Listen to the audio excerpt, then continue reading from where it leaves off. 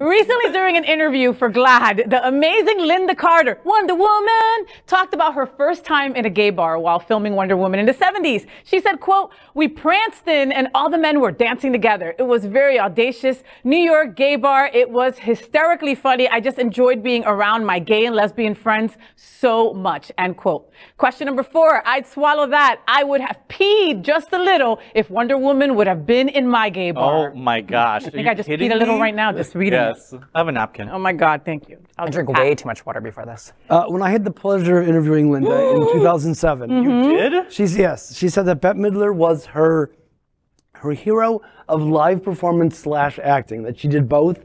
Like she was a stage performer and then she became an actress. And she said, "quote that she would ever have a car- if she could have a career like that."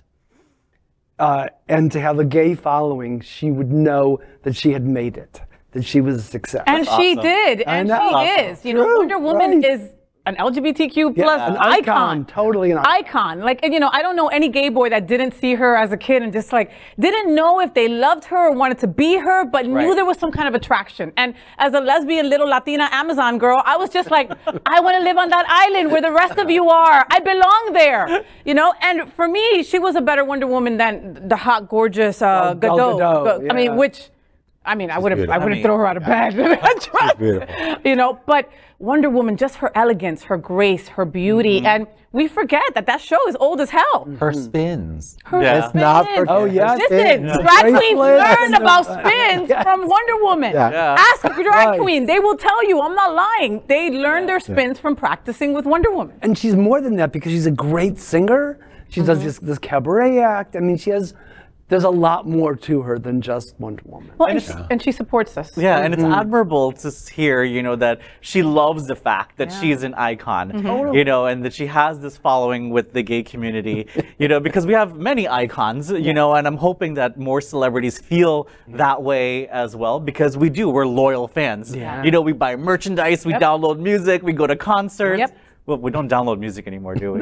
We don't. Do we uh, download music anymore? No, no. no. I mean, you We can, just play you it on can download it on. Spotify if Yeah. want to listen to it on an we play it on iTunes, you know, but back in my day. Yeah. Uh-huh, Back in your Oh, day. We used to download music on Napster, you know, like we used to make. I, had a, the- I, I used to. St- I mean, I used to steal my sister's iCarly MP3 player, if that.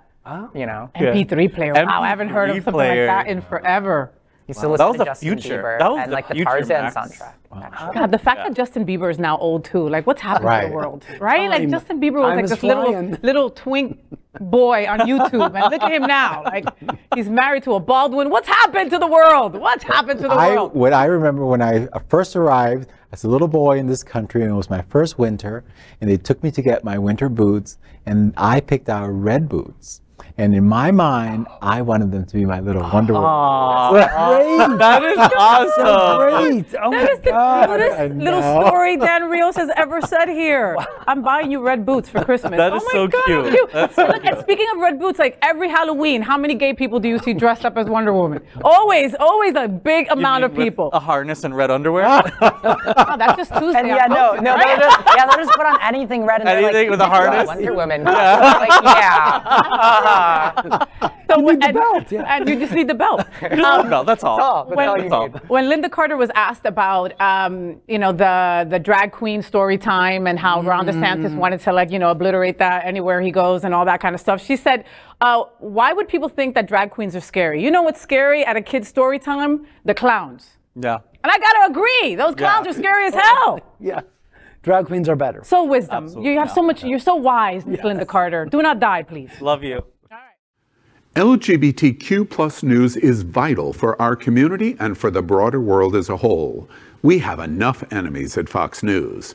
Tucker, Sean, and Lara are loud. We need passionate allies. Happening Out Television Network, Queer News Tonight, and It's Happening Out are literally out of the closet and into the headlines. Our community needs your support.